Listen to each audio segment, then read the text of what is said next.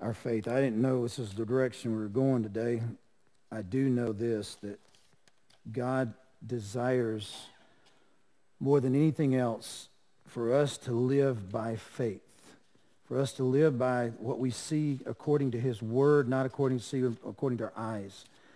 I know that as I was preparing in this sermon, I was using the passage of Scripture, and I'm not going to read all of it now, using the passage of Scripture in John where they were kind of huddled in a mass wondering what next. Jesus appears to them, and on the evening of the first day of the week, said the disciples were together, they were, doors were locked, they were in fear of the Jews. Jesus could stood among them. We all struggle with our doubts and our fears. We all struggle with that. And then one of the greatest things that God is calling us to as a place of faith. And the Lord has been asking me a question because I'm struggling as a pastor of seeing this church grow, seeing us reach people. I'm just, this is gut level honest with you. I want to see us reach people. We are, and I guess it comes from me, I'm, I'm crying out saying, God, would we get our hearts broken again for the souls of men and women? I don't know if my heart's broken enough.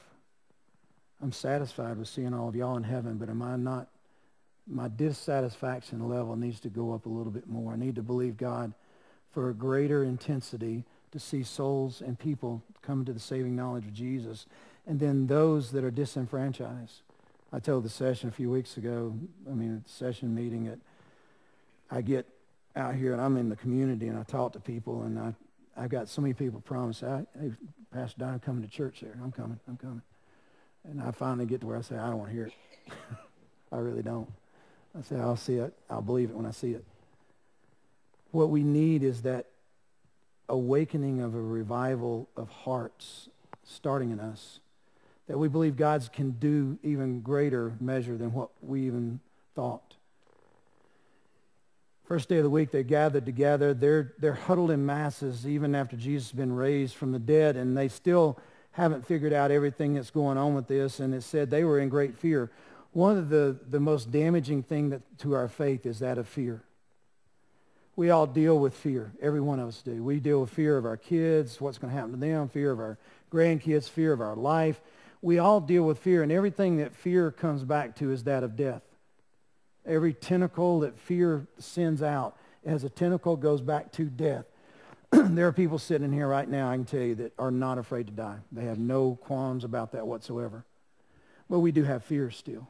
And those fears go back to that place. Every one of the disciples had their fears. They were dealing with, what if Jesus is not going to stay with us or come back? Or maybe everything he said, well, we, we've seen the empty tomb. We've seen him being risen from the dead.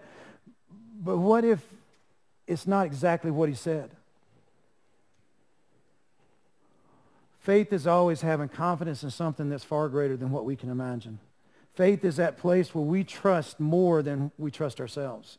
Faith is that place where we aren't trusting no longer in a person or a thing, but we're trusting in the omnipotent, omniscient God who sees everything.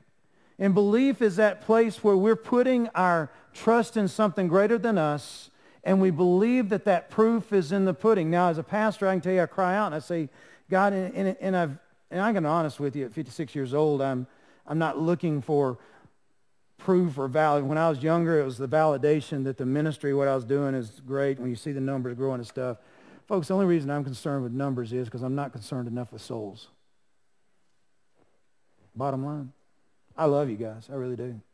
I love you as a church. I love every one of you as the flock of this church that I have the opportunity with other pastors here to pastor. I love that. But what I don't like in the American church or even in what I see in myself at times is the passion to see others come to the saving knowledge. I look and I say, God, would we cry out for more? Where is our faith? I, I, I, the Lord always lets me see that picture that's hanging over in the Family Life Center. And we believe that God could bring this building out of the ground debt-free, and we'd be sitting in it today debt-free. And it is an amazing testimony of what God can do. But I'm asking you that for, number one, expand your faith, that you believe God, and this is what I'm crying out for me, that we believe God can do exceedingly above all we can ask or imagine. There are people out there that do not know Jesus Christ. There are people that you know that have walked away from the fellowship and the love of Christ. That it's going to take a message of hope and, and produce that faith again within them. Doubt is one of those things that breeds out of fear. And we can doubt a lot of things. And one thing we cannot doubt is that God truly wants to see people come to this saving knowledge of Christ. My heart's cry for this church is that we become that saving station again, that salvation station that God is calling us. And by faith that we can see that, just as we saw this building coming out of the ground, that we can see God not just doing his little bit of work here and there, but we're allowing him to have control of our lives. And then we'll see what the fire that God can do in that. When the disciples said they were in this locked room, it said this. It said, Jesus came and stood among them in the locked room. Didn't say he opened the door. Didn't say he stood supernaturally among them. And he said, he told them because they all were freaked out. And Jesus looked at them and says, peace be with you. Peace was with them because Jesus was with them. He showed them his hands and his side. The disciples were overjoyed when they saw the Lord. I have equated this to the times that I've read. I'm a history buff. I love history. I read the times of past in the church. And when I was praying a while ago, it's been over 100 years since we've seen a nationwide revival. We've seen outsparkings of revival. It's been over 1906 with the Azusa Street revival. It was the birth of modern-day Pentecostalism and things that, that we can see that it poured out from Azusa Street in California, went all the way across the United States. We have not seen one like that since 1906. We've seen smatterings and portions, the Pensacola and Brownsville. But it's because Jesus showed up in a certain place without any kind of reservations, and people started believing, saying, God, could you do something here? When Jesus shows up, he lets you see, he lets you feel, he lets you know. He let him see his hands aside. You can see this. Our faith is based on a God who is living so we can see his work. I want to see the living God moving again across this nation. Start with us, God. What I'm asking you to do as a church is let's cry out. Would you cry out and say, God, do in me whatever it is you need to do so we can see this revival. I've always been a revivalistic preacher. Sometimes I fall, and this is true confessions, I fall in the pastoral way. I preach to you pastorally, which is fine. But I want to see the revivalistic fires again. Trying to be obedient to the Holy Spirit and listen to what he has to say because there are some of us that we live our lives fully as skeptics of what God can do because we have never seen it.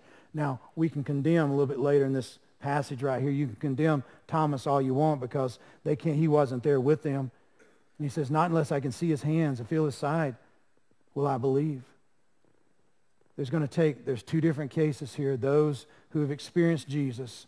If you've experienced Jesus, you could be a catalyst for this kind of movement of what God wants to do in this nation again.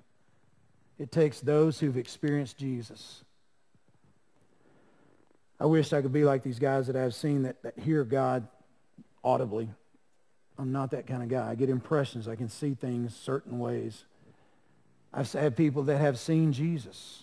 Some of the Muslims that have come to faith in Jesus Christ, they have seen Jesus with their eyes. I've not done that. But I have sensed his presence and I have experienced his goodness through faith. And I believe he truly wants those who believe him to be used in these last days. If you don't hear all the saber rattling that's going on around the world, you understand this. Wars and rumors of war are intensifying. God wants to pour out his spirit. There will be a great falling away of the church, but in the meantime, we're praying that there will be a great gathering in of what God wants to do. It's going to take you, first and foremost, to believe that Jesus has risen from the dead you must experience. The great thing about Christianity is it's experiential religion. It's not just head knowledge. It's not just head knowledge. We gain head knowledge so it gains and it lands into our heart. So it creates an atmosphere that we believe God can still do what he says he can do. They heard that Jesus was risen from the dead, but it wasn't until he stood in his presence and said, look, see, see, see. See what you can see. You say, well, I got to believe before I can see. That is true. Every one of us, faith is an integral, critical part of our lives. What do you believe in these days? Do you believe that God truly wants to pour out his spirit? We all got hold of a vision that he could build this place right here debt-free. I'm asking you to get hold of a vision that he wants every seat in here filled by the power of his Holy Spirit. Our efforts will get worn out, we'll get tired, but by the power of his Holy Spirit, he wants people to come to that place of knowing him to know him. Folks, we're going to spend eternity together. That's an awesome, awesome privilege that Christ has given us. In the meantime, our job is to be led by the power of the Holy Spirit. When I ask people to come for refreshing, if you're not being led by the Holy Spirit, the, the thing that you need is that new, fresh encounter. The disciples walked three years with Jesus. But it wasn't until this fresh encounter because Jesus goes on and says, receive this Holy Spirit. And Jesus says, peace be with you. As with the Father sent me, I'm sending you. And he breathed on them and said, receive the Holy Spirit. It takes us living by faith that Jesus Christ can and do what he said he's going to do because he is the living word of God. That's where our faith is created. But our belief is nurtured in the power of the Holy Spirit and in obedience to the words of Christ. He's calling us. He's calling us to a place of intimacy with him. He's calling us to a place that we walk by faith, that all fears are being cast out. We can be afraid of what somebody's going to think about us or what somebody's going to say about us. I was listening to a fellow this past week, and he was telling me about a testimony of a guy that was so rough. He said nobody really wanted to talk to him. And finally, he said God convicted him so badly that he went to him. and He told him, he says, look, so-and-so, you may not want to hear this, but I've got to say it. It was that impression of the Holy Spirit that was so powerful. He said, you have never wanted anything to do with God all of your life. You've cursed people that would even try to bring him to you. But he says, you need God. You are on your deathbed, and you need God. You need Jesus as your Lord. That's the power of the Holy Spirit working in us and through us. He believes, and I do believe this, that you see in this room, and we call him the doubting Thomas, and he says, as he would miss this episode and all this, he says, unless I see the nail marks in his hands and put my fingers where the nails were and my hand in his side, I will not believe. A week later, the disciples were there in the house again. Thomas was with them. The doors were locked. Jesus came and stood with them. The doors locked, meaning there was still fear. And Jesus stood with them and said, peace be with you. Then he said to Thomas, because he, Thomas said this in the midst of the disciples, not in the midst of Jesus, put your finger here, see my hands, reach out your hand and put it in my side. Stop doubting and believe. It's a message to us, folks, to the church. Stop doubting and believe. It's a message to your pastors, the pastors. It's a message to the elders. Stop doubting and believe. God's got his plans. He's got his purposes. He has given us the power of the Holy Spirit. His word, meaning the word living among us, Jesus, is his word is true. And when we plant that in our heart, the Holy Spirit nurtures it. He can do everything we can ask or imagine exceedingly above. We pray for God refresh us. What are you praying refreshing for? Just so you can get through the day? Folks, we've got eternity set. It's in the meantime in which we live. We're looking for that power to be his instruments of revival, not just to get through the day, but to be an instrument of revival. And we can see the power of God. He says, look, see my hand, see my side, touch. Stop doubting and believe. He's an interactive God. What are you believing for right now? Is it something that you can accomplish? I would say we need to stretch our faith a little bit more. If it's something that you can do without God, you don't got your faith in him. You got your faith in yourself. Got to believe beyond that. Believe beyond that. It's a greater belief. I challenge you. As I'm challenging myself as a pastor, I'm, like I said, I didn't know where we are going with this today. But I really sense God wants to interact with us. He is He is tired of being invited to the banquet and being ignored. Amen. He really is. Because we're afraid of him. Is God ever going to be safe? No. Is he good? Yes. We invite him to the banquet every Sunday, and a lot of times we just ignore him. We invite him to our lives, and we ignore him. He is so tired of that. I'm not doing this step on anybody's toes but my own. He is so tired of that. His heart is broken over the church. He is tired of the new and the shiny things that draw all Christianity together in certain cities around the new and shiny. He said, if I could just get a group of people that would cry out for my purposes and plans, I could change this nation. I could change your families. When brokenness truly sets in to us, his revival wave will pour out.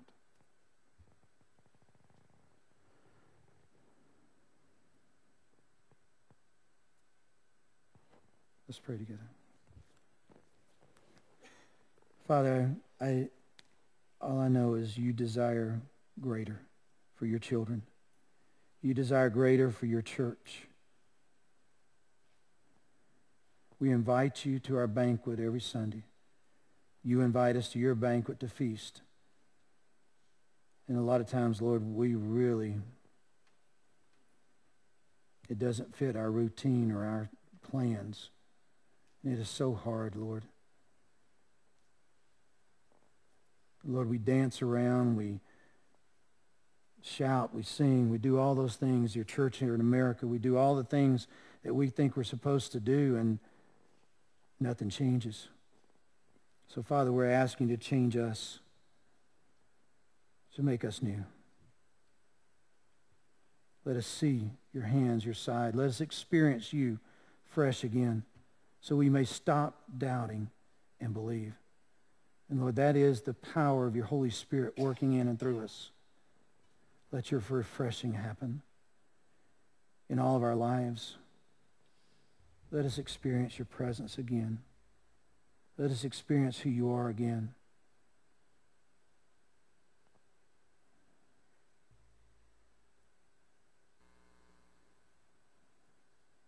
But I'm tired of talking about you. I want us to experience you.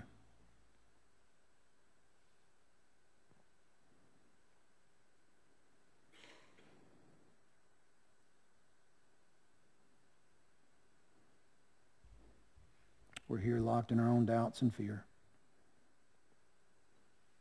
Breakthrough with your faith, your love.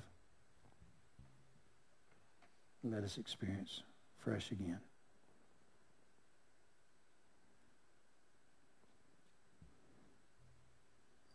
I'm going to ask you to stand with me, please. If you're close to someone, I want to grab that person's hand. And I want us to close out as a church in faith and agreement that we can become hmm, that we may become that epicenter for revival. That epicenter for revival. Every earthquake has an epicenter where it starts. Do not pray it unless you're willing to embrace brokenness. God's going to break us. He's going to break us as a nation. I don't know what it's going to take. But let us as a church experience the brokenness together so revival may come and people may ask the question, what is this God that you're serving that is so awesome? Father, as we come in agreement, I ask you, Lord, that we can be that church that walks refreshed by the power of your Holy Spirit, that walks by faith and not by sight. But Lord, you tell us, feel your hands, feel your side. Experience you. Stop doubting and believe. Father, you want to fill every church in America with people, every church. You are concerned for the souls of men and women in this nation let us be an epicenter point for that kind of revival. And Lord, you said one more time you would shake everything that could be shaken, starting with your house of worship. Shake us, Lord, to our foundation so that we may know you. Pour out your spirit again on this nation. And Father, I ask you to use us as an epicenter, one of the epicenter. We're not pride, nothing, Lord. You're going to have many places that's going to be an epicenter for revival. And I pray we can be one of those places, that you would find us worthy of that calling. Can we be that place, Father? And there's many, many places you're calling at this point. Let us be one of those places. Let the health of this church be found by faith in Jesus Christ, who died for us, who loved us, rose from the dead, and sent his Holy Spirit to empower us. Thank you for this church. I thank you for this flock. I thank you for the hearts and the lives in this church. But Lord, let us not cruise into eternity, but let us run this race with perseverance and purpose. Thank you for that, Father.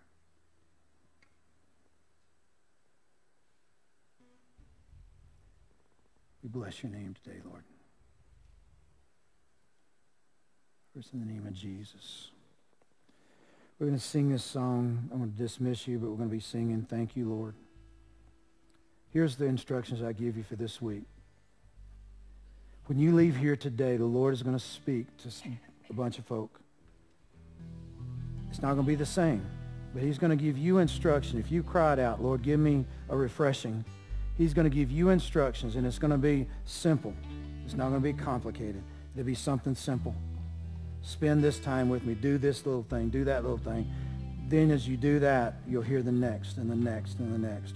Listen to his voice this afternoon. Just listen. Say, God, what is it that I can be the epicenter for revival for my family, for my workplace? Let me be that, Lord. You're going to shake us one more time. I want to be ready for that shaking. So as we sing this song, you're dismissed. Love on one another as you go from here. God bless you. Jesus, you are, will always be beautiful and lovely to me.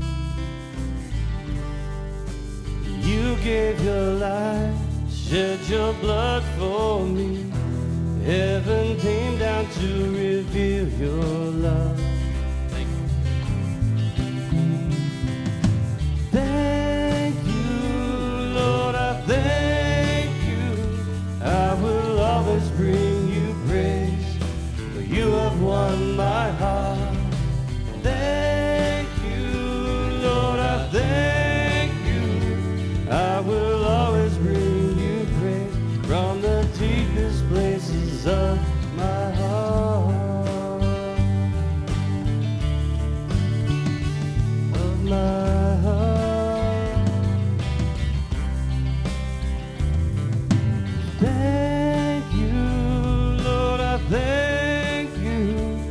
I will always